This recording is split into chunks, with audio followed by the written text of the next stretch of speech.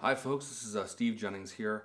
Uh, I'm an animator, filmmaker, and uh, puppeteer, and I wanted to talk to you a little bit about a project we've been working on for about five years now.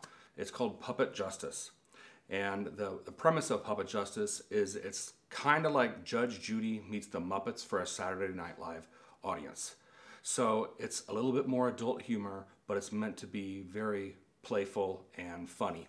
So basically, Puppet Justice is the absolute last resort for someone that wants to go on to daytime television and uh, have their uh, case heard.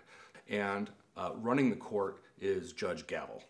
And Judge Gavel doesn't like uh, that this is the absolute worst court. In fact, he hates it. He hates that he is the lowest rung on the entire totem pole. He is uh, that that this court is a fiasco. It's very chaotic and it's absolute mayhem. And the producers of the show absolutely love that about the show. It's the Jerry Springer of daytime court shows.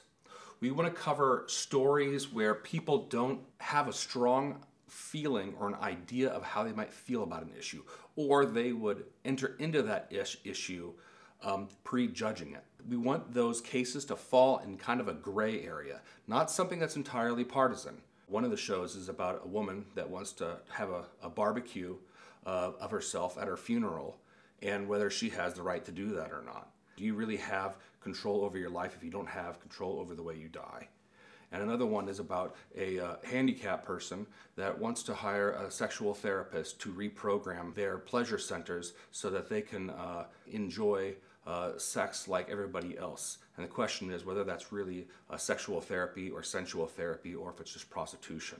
Something like either one of those, you would have a very strong opinion on how you would feel about the issue. But as you explore it more, it might become a little bit more challenging to discover how you would actually feel about that we want to be able to make the puppetry, the animation of it quick. And so by using technology, we're either using uh, 3D printing technology to create uh, um, actual traditional puppets that can then have maybe digital uh, counterparts or uh, digital puppetry that can be done in the computer very quickly based off of the voices uh, out of from actors and the performers and then with additional uh, animation from uh, animators after the fact.